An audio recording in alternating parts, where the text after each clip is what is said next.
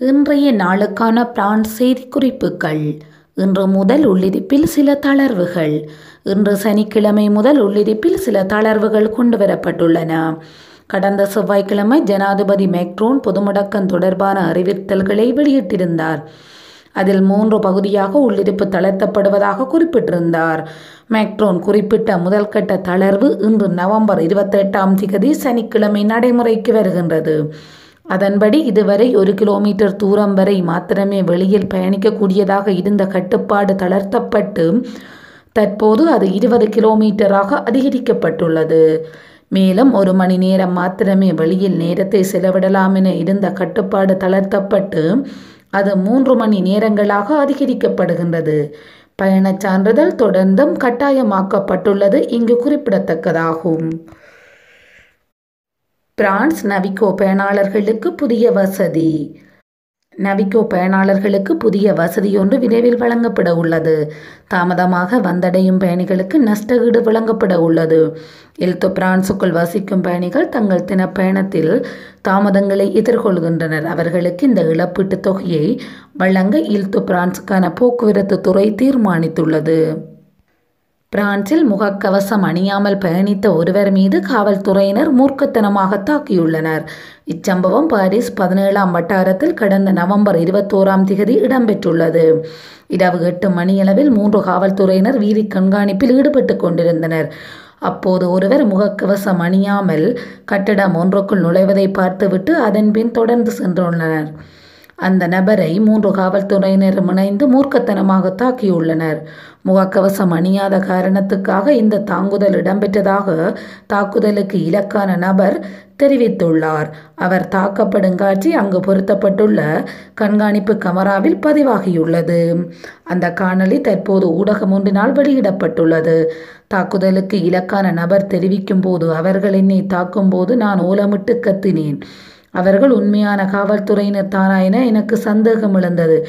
என்னால் இதை தாங்கிக் கொள்ள முடியவில்லை என அவர் தெரிவித்துள்ளார். இதைத் தொடர்ந்து இச்சம்பவம் தொடர்பான விசாரணைகளை அதிகாரிகள் ஆரம்பிக்கும்படி உள்துறை அமைச்சர் உத்தரவிட்டுள்ளார். அவ்வாறான காவல்துறையினர் பணி நீக்கம் செய்யப்பட வேண்டும் எனவும் அவர் மேலும் தெரிவித்துள்ளார்.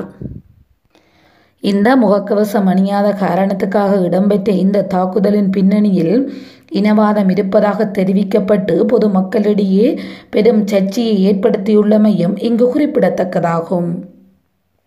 பிரான்ஸ் நாடாளுமன்ற உறுப்பினர்களின் முக்கிய கருத்து தமிழர்கள் துயரங்கள் அங்கீகரிக்கப்பட வேண்டும்.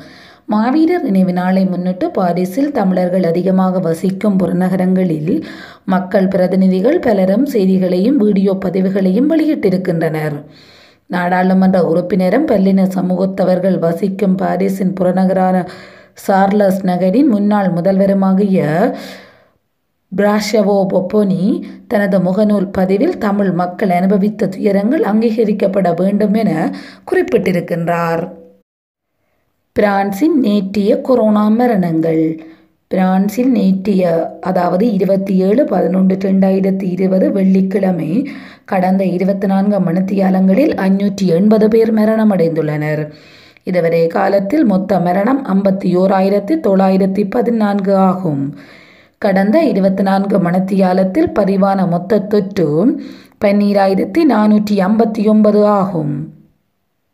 பாரிஸில் தீ விபத்து ஒருவர் சாவு பாரிஸில் இடம்பெற்ற தீ விபத்து ஒன்றில் ஒருவர் சாவடைந்துள்ளார் வியாழக்கிழமை நண்பகலுக்கு சற்று பின்னதாக இந்த தீ விபத்து இடம்பெற்றுள்ளது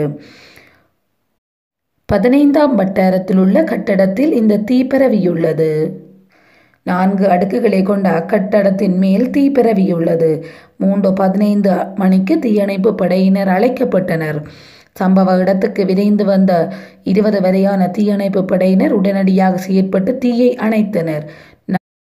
நான்கு மணிக்குள்ளாக தீ கட்டுப்பாட்டுக்குள் கொண்டு வரப்பட்டது குறித்த தீ விபத்தில் சிக்கி ஒருவர் சாவடைந்துள்ளதாகவும் எரிந்த நிலையில் அவரது சடலம் மீட்கப்பட்டதாகவும் தீயணைப்பு படையினர் தெரிவித்துள்ளனர்.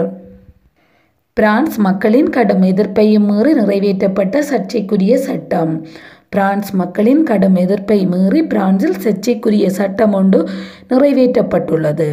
உலக பாதுகாப்பு மசோதாவில் தற்போது புதிதாக உருவாக்கப்பட்டுள்ள இருபத்தி நாலாவது பிரிவின்படி போலீசாருக்கு ஆபத்தை ஏற்படுத்தும் வகையில் அவர்களது புகைப்படங்களை பிரசுரிக்க தடை விதிக்கப்பட்டுள்ளது. பிரான்ஸ் நாட்டுக்கு எதிர்ப்பு தெரிவித்த பிரஜைகளை நாடு கடத்திய சிங்கப்பூர். பிரான்ஸ் நாட்டுக்கு எதிர்ப்பு தெரிவித்த பங்களாதேஷ் பிரஜைகள் சிங்கப்பூரிலிருந்து நாடு கடத்தப்பட்டனர் பிரான்சில் நடைபெற்ற பயங்கரவாத தாக்குதல்களின் போது பிரெஞ்சு அரசுக்கும் நாட்டுக்கும் எதிராக சமூக வலைத்தளங்களில் எதிர்ப்பு கோஷங்களை பதிவு செய்தார்கள் என்ற காரணத்தினால் பதினஞ்சு பங்களாதேஷ் நாட்டைச் சேர்ந்தவர்கள் இவ்வாறு சிங்கப்பூர் அரசு நாடு கடத்தி இருப்பதாக அறிவித்துள்ளது. ஆம் மற்றும் ஒரு பிரான்ஸ் செய்தி குறிப்புகளோடு உங்களை சந்திப்போம்.